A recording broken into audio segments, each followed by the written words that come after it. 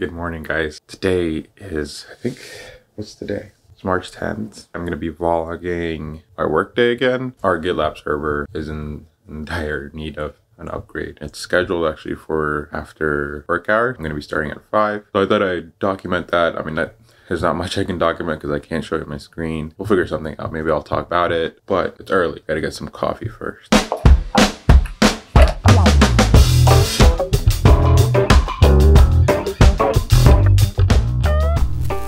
Just to give you context of what's going on today for work, all my focus today will be getting my tests up and running for upgrading our GitLab server. We're at version 12.10 something. We are trying to get all the way to the latest, which is 14.8.2. The original plan for this GitLab upgrade was to upgrade it from that 12.10 whatever to 13.8.8. Then another version got released for like a critical, I think, security vulnerability or something. That is at 14.8.2, I believe. We were like, okay, we have this downtime already planned.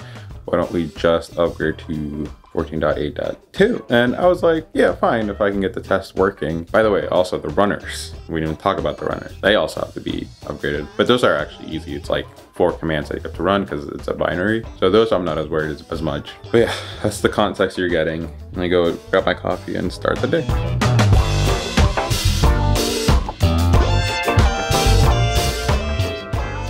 If you've seen any of my other vlogs or day in the life kind of work, the first thing I do is check all my email tickets, our reporting tools, stuff like that. Even on a day where I'm gonna be doing an upgrade that that's gonna be primarily my focus for like majority of the day. But if something urgent came up or if there's a ticket where I have to give an answer, then I'll still need to keep an eye out for those. So yeah, so that's what I'm gonna be. That's what I'm gonna be doing first.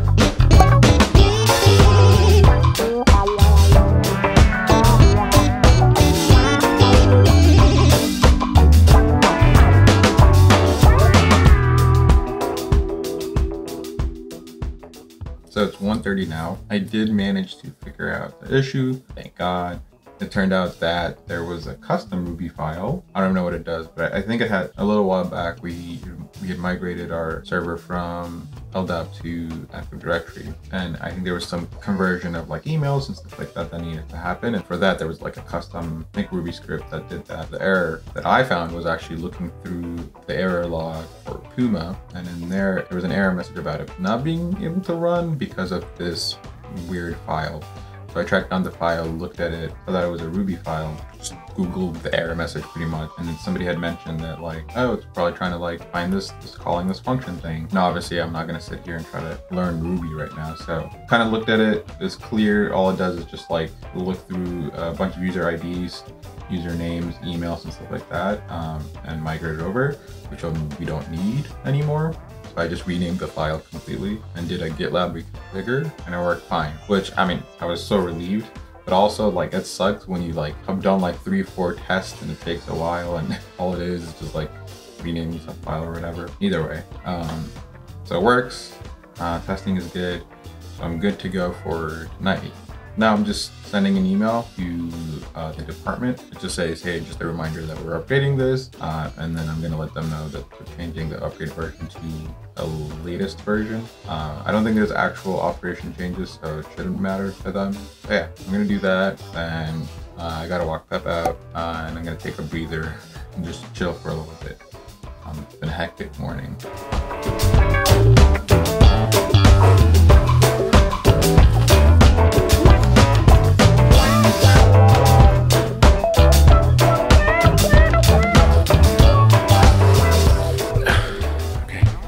I'm back. It's 2.13 right now, so the rest of the day is gonna be figuring out, making sure I can install that shirt fine, getting ready uh, for the upgrade, obviously. It's at 5, so I have like a little less than 3 hours. Um, and getting ready means I have the document and I have all the commands that I need to run, but I'm just gonna uh, write it all down um, so that all I have to do when it comes to the upgrade is just copy paste it into the terminal, uh, into the command line. That way I don't like I'm not focused on if I ran the right command at this point or not. And it's all just listed out. I just have to copy and paste it. Outside of that, I'm going to check on a few tickets. I'm hoping to finish like if, if everything goes really smooth and I start at five, if I have a backup, if all the commands run successfully. If the migration takes an hour and 15 minutes, I'm hoping to finish by seven, just like if everything goes smooth. Uh, most likely won't. So like ideally 7.30 and hopefully like nine the latest is what I'm hoping for. So we'll see. And if it takes that long, then I'm probably gonna take tomorrow off because I worked a little longer yesterday. Without further ado, let's get back into it.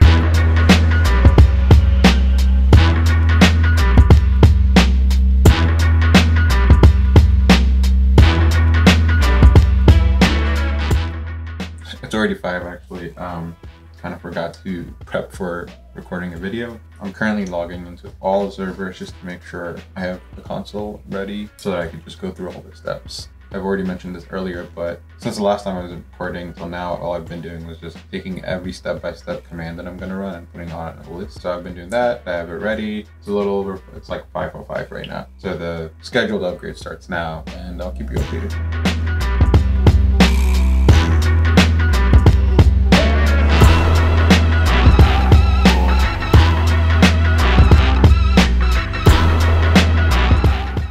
Now so I'm pausing all the runners. Uh, I'm gonna check to make sure they're not running any tops before I move on with their um, updates.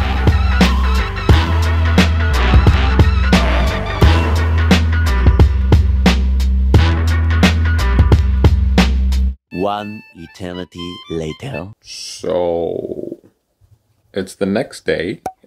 um, all right, a, a, few things. First off, the GitLab upgrade, the runner upgrades, all complete. Guess what time I finished though? It was 11, 11 or 11.30 p.m. Yeah, it was...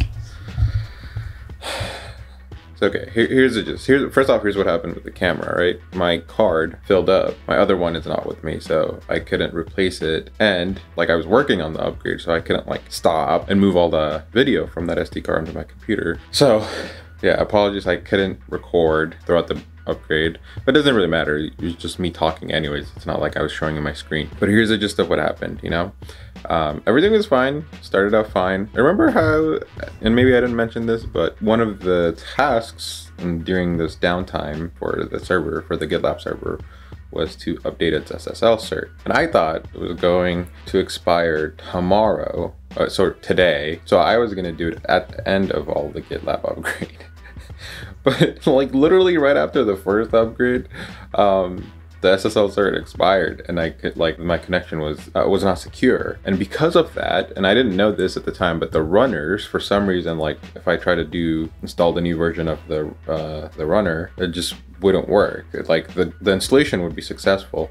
When I went back to the GUI, it was like I don't know what you're talking about it's still at the old version. And I didn't know they were related, but um, so I had to figure out the SSL cert thingy. And that took a bit, a long time because I had done, so I had grabbed all the cert that I need, um, like the, the root, the intermediate, the actual server cert. It was already renewed by my colleague given to me, put them all together in one file, placed the old one with, with this one, and ran a GitLab CTL uh, reconfigure, which like, we like pretty much is like a restart um, of the whole GitLab thing. And I thought that was it. I was like, it's not working. Why isn't it working? Blah, blah, blah. And then for some reason, it took me like 20, 30 minutes just to find the command um, that you need to run. Um, and it's very specific. It's like GitLab CTL, I think HUP or HUP, um, Nginx, update or restart or whatever it was. It's like very specific to GitLab. Um, and as soon as I did that, it started working and then the GitLab runners were fine. And I was like, okay. So that was like problem number one. and we were just getting started. Then, I mean, okay, there weren't that many problems. It just took a while. I thought there was one massive background migration that was gonna happen and that was gonna take like an hour and 20 minutes and I knew that was gonna happen. But there were other background jobs that were running um, that took a bit longer than I anticipated. So those I had to wait for them to finish. I actually didn't know like whether I needed to wait for the background job. There's like background jobs and then the background migration. I know for sure I can't like the if I tried to upgrade without the back uh, background migrations finishing, the GitLab upgrade would have failed. The background jobs, I'm not sure, but I wasn't willing to risk it, so I waited for some of them to finish. So there was that, and then there was uh, one time where uh, I was getting an error about uh, some of the projects within the GitLab using legacy storage uh, instead of hash storage. And at a certain point, I think at GitLab 14, you can't you can't use legacy storage. So I tried migrating those over. Some did successfully migrate over, but some didn't. I was trying to figure it out. took like 20 minutes, and then I gave up. What I found out pretty early on was that you can skip that check uh, and just move on with the upgrade. So after like 20, 30 minutes, I was like, all right. So I skipped that. Oh, right, all the runners. So we had several runners. That's the other thing.